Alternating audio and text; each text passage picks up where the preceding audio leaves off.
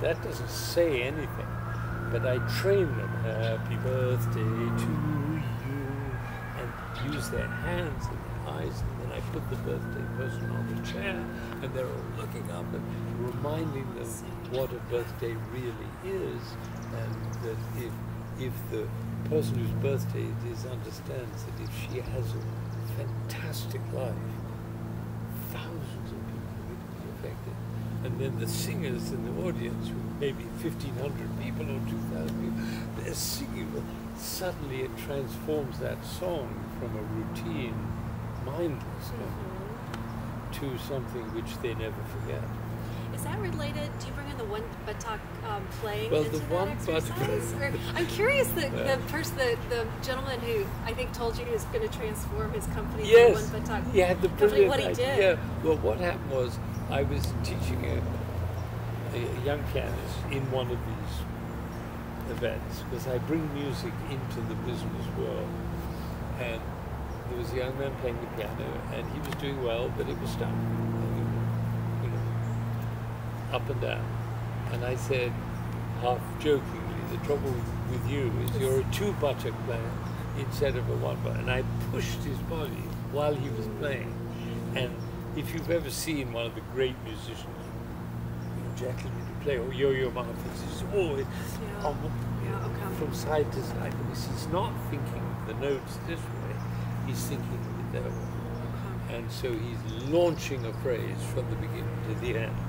And that is a whole different way of breathing and thinking and relating and creating and so on.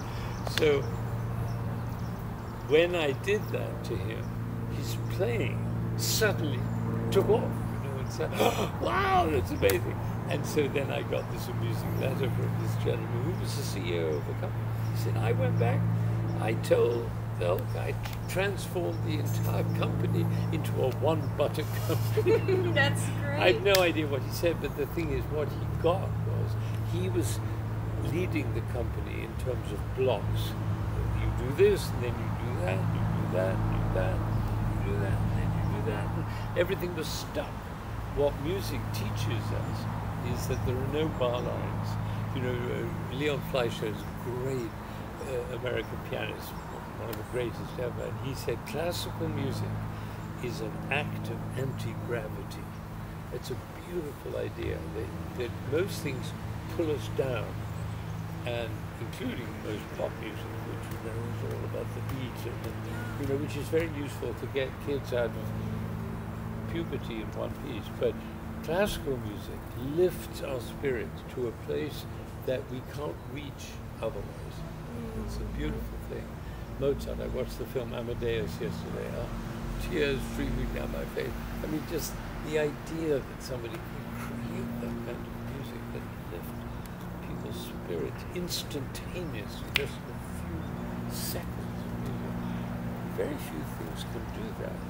And so the idea that we could emulate the shape and direction of music. so, um, of course, your interpretation classes are That's seen now by millions thanks to the internet. So you're um, so well known for your interpretations of Mahler and Beethoven.